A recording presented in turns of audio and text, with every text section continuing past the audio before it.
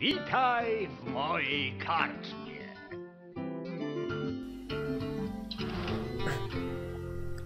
Cześć! Z tej strony Olej i dzisiaj witam Was dość nietypowo. Jest to spowodowane tym, że w końcu udało mi się dostać na zamkniętą betę gry Hearthstone. Jeżeli ktoś nie wie, co to jest Hearthstone, powiem w skrócie, że jest to logiczna gra karciana stworzona przez Blizzarda, w, k- osadzona w realiach znanych nam y, z sagi Warcraft, której wcielamy się w postać jednego z dziewięciu bohaterów i wal, walczymy naszymi kartami z innymi bohaterami. Myślę, że każdy miłośnik gier z serii Warcraft, innych gier Blizzarda, a także gier karcianych typu Magic the Gathering powinien zatrzymać się na chwilę przy tej grze i poświęcić chwilę uwagi niej. Aczkolwiek myślę, że takie osoby już słyszały wcześniej o tej grze i wiedzą z czym to się je. Ale żeby nie przedłużać, pokażę Wam na przykładzie pojedynczej rozgrywki, o co chodzi tak dokładnie w grze Hearthstone. Żeby pokazać Wam dokładnie o co chodzi i nie męczyć innych ludzi moim, moim e, długim oczekiwaniem na ruch, wejdę w tryb treningu. Jak widzicie, mamy jeszcze do wyboru pojedynek i arenę. Są to tryby gracz kontra gracz, gdzie mierzymy się online z innymi graczami w tę grę. Zacznijmy od treningu zatem.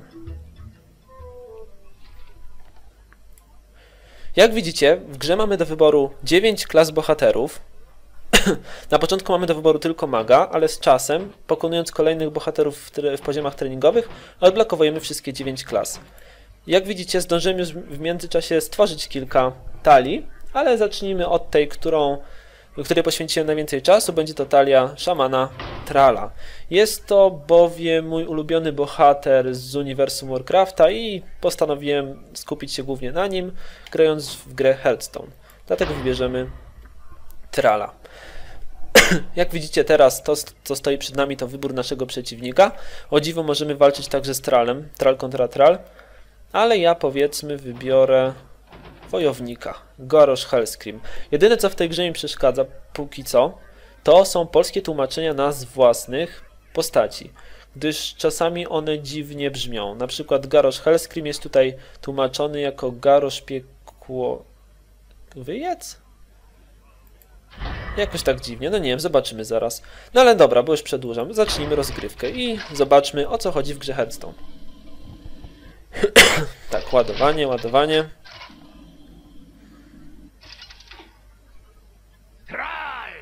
Kontra Garosz. Dokładnie. Jak widzicie, albo za śmierciobójcę. tak. Jak widzicie na początku naszej rozgrywki mamy w ręce trzy karty.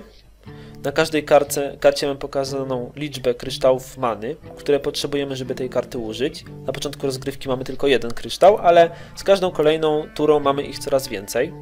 Oprócz tego mamy ilość, ataku, ilość punktów ataku, jakie ma dana postać, jeżeli jest to karta stwora, czyli ilość punktów życia, jakie dany stwór zabiera, oraz liczbę punktów życia, jakie dany stwór posiada. I oprócz tego specjalne zdolności, jakie stwory mają. Każda karta ma jakąś specjalną zdolność. Jak widzicie, mamy tutaj zły urok.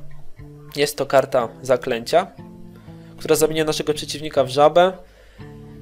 I nie ma ona żadnych punktów ataku ani punktów życia, gdyż jest to karta potwora. Dobrze, i na początku już wymienimy tę kartę, dlatego że ona kosztuje aż 7 kryształów many, a na początku gry będziemy ich mieli mało i nie będziemy mogli z niej użyć. Dlatego wymieniamy karty. Karty możemy wymienić tylko na początku tury. Później niestety, nie ma takiej możliwości, chyba że mamy jakąś specjalną kartę. Dobra. Jak widzicie, mamy tylko jeden kryształ many, a niestety wszystkie nasze karty kosztują więcej, dlatego nie lubię tego robić, ale muszę to zrobić i zakończyć turę nie wykonując nic. Zobaczymy, co zrobi nasz przeciwnik. Nasz przeciwnik przyzwał jakiegoś wielkiego, złego murloka, który ma dwa punkty ataku, jeden punkt życia, więc nie powinien, nie powinien być żaden problem ze zniszczeniem go.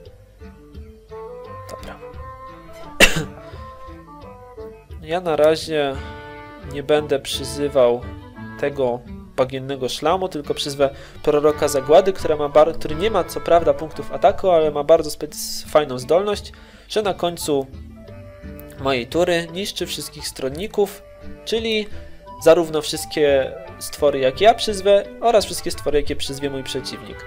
Dlatego postawię go teraz. W sumie nie wiem, czy mam tą kartę w talii. Nieważne. Zakończymy turę, zobaczymy co zrobi. O! Właśnie dlatego nie chciałem używać naszego bagiennego szlamu, gdyż wiedziałem, że nasz przeciwnik jest wojownikiem i będzie próbował za wszelką cenę używać różnych broni. tak. Wszystkie stwory zginęły. I to jest właśnie idealna okazja, żeby użyć bagiennego szlamu i zniszczyć broń przeciwnika. Bohater przeciwnika już nie może atakować. Gdyż sam bohaterowie sami w sobie, jak widzicie, też mają punkty życia, ale nie mają punktów ataku. Jedynie kiedy damy im jakąś broń, to wtedy mogą atakować samymi bohaterami. tak, oprócz tego wojownik, czyli klasa naszego przeciwnika, ma specjalną zdolność, która daje mu dwa punkty tarczy. Nie, może, nie możemy zadawać obrażeń przeciwnikowi, dopóki nie zniszczymy jego tarczy. To jest dość denerwująca zdolność, no ale jakoś damy radę. Jak widzicie, nie mamy za bardzo co teraz zrobić i dlatego użyję mojej specjalnej zdolności, czyli specjalnej zdolności szamana, którą jest przyzywanie losowego totemu.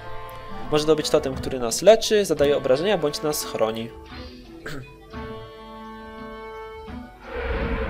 To, co nam się trafiło, to totem leczący, który co turę yy, odnawia jeden punkt życia naszemu bohaterowi oraz wszystkim stworom na planszy.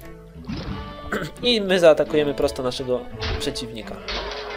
Widzicie, tarcza zniszczona, jeden punkt życia mu zabrałem, więc myślę, że możemy turę zakończyć. Jak widzicie, nasz totem przywrócił naszemu bohaterowi punkt życia. Jak widzimy, nasz przeciwnik używa broni, żeby nas zniszczyć. Mu na razie to dobrze wychodzi, oby do czasu. Dobra, mamy 5 punktów many. A przyzwijmy jakiegoś wielkiego pędzącego nosorożca. I zaatakujmy przeciwnika po raz kolejny. Jak widzicie, totem cały czas działa i nas leczy. O, widzimy, że nasz przeciwnik ma podobną, podobną postać, którą ja mam tutaj. Jest to dość niebezpieczny stwór, z tego względu, że za każde obrażenie, jakie otrzymuje, zwiększa się jego atak o 3. A biorąc pod uwagę, że ten stwór ma 7 punktów życia, więc będzie żył dość długo i ta umiejętność mu się może przydać. Więc żeby go wyeliminować, zamienię go w żabę. W ten sposób traci wszystkie swoje zdolności, ale jak widzicie, karta ta jest otoczona tarczą. Oznacza to, że przeciwnik ma zdolność prowokacja, która sprawia, że nie możemy atakować innych kart ani bohatera, dopóki nie zniszczymy wszystkich przeciwników z prowokacją. I starczy nam jeszcze kryształów mamy na totem. Tym razem przyzwaliśmy totem, który zwiększa moc naszych zaklęć. I możemy zakończyć turę niszcząc żabę i atakując samego bohatera. I to by było na tyle. Nasz leczący totem widzę ciągle działa. A nasz, nasz przeciwnik niestety po raz kolejny postawił stwora z prowokacją. I po raz kolejny nie będziemy mogli atakować samego przeciwnika. Ale jak widzimy mamy podobne karty. Więc oczywiście też ich użyję. I na razie nie będę atakować, dlatego że zarówno atakując nosorożcem, jak i szlamem stracę te postaci. A bohatera zaatakować nie mogę, bo chroni go postać z prowokacją. Dlatego zakończymy turę i zobaczymy co się stanie. Wrota są otwarte. Oho, nieciekawie to wygląda. Ale myślę, że jakoś damy radę. Tak, to co tutaj widzicie jest to jednostka ze zdolnością szarża. Zdolność szarża umożliwia jednostce wykonanie ataku w tej samej turze, w której dana jednostka została przyzwana na pole bitwy. I użyje jej do zniszczenia tego obrońcy. Poświęcając przy okazji swoją jednostkę, ale to nic. I przyzwiemy jeszcze jeden totem. Tym razem jest to totem zadający obrażenia. Jak widzicie ma jeden punkt ataku i co turę będziemy mogli atakować nim tak jak wszystkimi innymi normalnymi stworzeniami. Koniec. Co zrobi przeciwnik? Widzimy, przyzwał kolejnego stwora, który użył swojej zdolności specjalnej. No dobra. W sumie nic ciekawego nie wymyślił. O, ta karta ma bardzo ciekawą zdolność, pozwala nam dobrać jeszcze dodatkową kartę do ręki. Jest to, może nie brzmi to zbyt y, atrakcyjnie, ale tak naprawdę jest to bardzo dobra umiejętność, która się przydaje. Ja bym teraz zadać 7 punktów obrażenia tej karcie.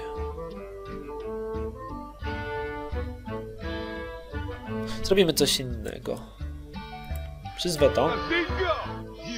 Przy okazji to poświęcę w następnej turze, ale mam pewien pomysł. O, źle zrobiłem. W sumie mogłem zatokać bohatera. To nie jest twór z prowokacją. No dobra, tu zlamiłem, tu się przyznam. Nieważne. Tak. Użyłka specjalnej karty zdolności. O, to jest dobra karta. Przyzywamy stwora, ale dodatkowo przyzywając tego stwora możemy zadać 3 punkty obrażenia innemu stworowi. I zrobię to tutaj.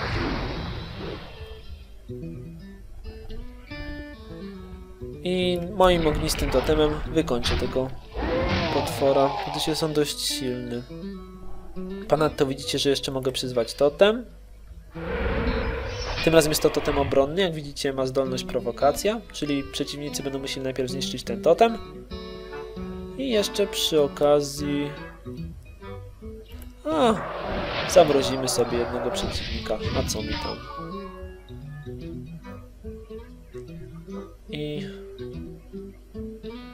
I zniszczymy wrogie jednostki.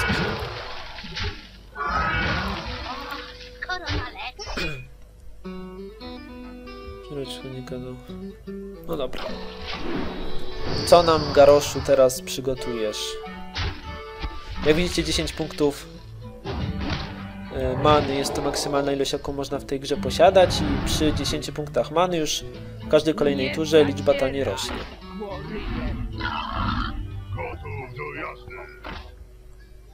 No, robi się nieciekawie. Zniszczyłeś totem? Dobra. Ogólnie z tego co widzę, to mamy bardzo podobne jednostki. Tak. Tak. Co by tu zniszczyć? W sumie tym zniszczę to. Poświęcę cię, przepraszam. A tym zniszczę to. Jeszcze przy okazji uzdrowimy naszego... Albo nie. Uzdrowimy tego stwora i damy mu zdolność prowokacja. W tej turze niestety jednostki przeciwnika nie będą mogły nam zadać obrażeń. A dobrze. Jak widzicie, yy, użycie prowokacji na tego, na tego stwora się udało, opłaciło, bo teraz ma on aż 11 punktów ataku i myślę, że w tej turze zadaje bohaterowi przeciwnika. Oprócz tego użyjemy jeszcze Wichrogrod, czempiona Wichrogrodu, który dodatkowo zwiększy atak wszystkich jednostek o 1. I postawimy totem. I z tego co widzę, w tej turze rozgrywka się zakończy. A jest to spowodowane, jest to spowodowane tym, że tutaj zadamy 6 punktów obrażeń, tutaj kolejne 7, no i tutaj 12. Jak widzicie, Garosz Hellscream uległ. I zwycięstwo. Niestety z y, poziomu doświadczenia nie dostajemy, gdyż y, za granie przeciwko przeciwnikowi komputer, za granie przeciwko przeciwnikowi komputerowemu doświadczenie zdobywamy tylko do 10 poziomu, a moja postać ma już poziom bodajże 18. No i to by było na tyle w takim krótkim dzisiejszym filmiku. Mam nadzieję, że chociaż z dwie osoby zachęcił on do zagrania w tą grę. Tak jak mówiłem, jednak Hearthstone jest jeszcze w fazie bety, więc ciężko się na niego dostać. Można jednak wysłać przez stronę Battle.netu zgłoszenie na betę i mieć nadzieję, że się dostanie klucz do bety. No ale jak mówię, jak gra wyjdzie już w swojej oficjalnej wersji, po skończonych beta testach, to myślę, że warto będzie spędzić chwilę przy niej. Nie jest to oczywiście gra na długie godziny, ale czasem można do niej wrócić. Dlatego na dzisiaj to by było już tyle. Dzięki wszystkim za oglądanie. Zapraszam do kolejnych odcinków z innych serii i trzymajcie się. Do usłyszenia. Cześć!